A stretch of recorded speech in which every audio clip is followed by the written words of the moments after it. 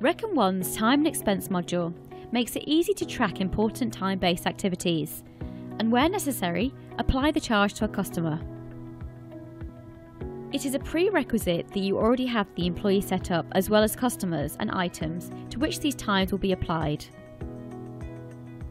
Timesheets are available through Day to Day and under the business heading Timesheets. You have three tabs All, Non billable, and Billable.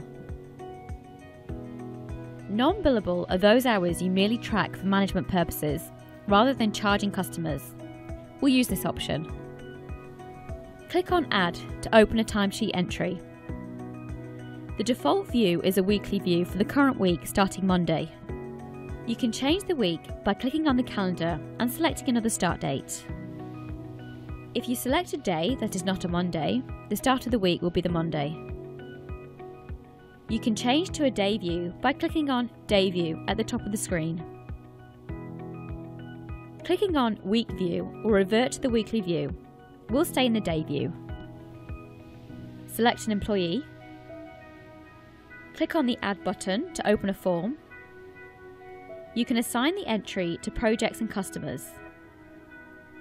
You still must select an item, even if the entry is non-billable. You may want a generic item for non-billable entries here. Tick the billable box if this item is billable to the customer add the time spent on this item, and then any notes for the entry. You can add more entries to this form if you wish. The grey bar at the bottom will total the hours for this entry. When you switch back to week view, you'll see the individual entries with a total for the day in the grey row, and totals for the item across all the days of the week at the right. Adding an entry in the weekly view is much the same. It just doesn't allow you to enter a note.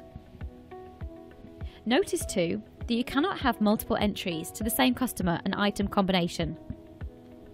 Only one entry per day is permitted. It's then easy to add further hours for different days. When done, just click on Save and Close.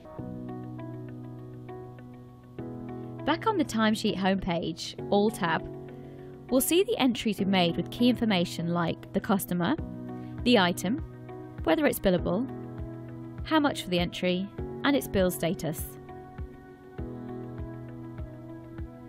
To apply this timesheet charge to a customer, open an invoice. When you select the customer, you'll get a prompt to apply the time and expense. Select Yes, and you'll see the timesheet entry for all unbilled items.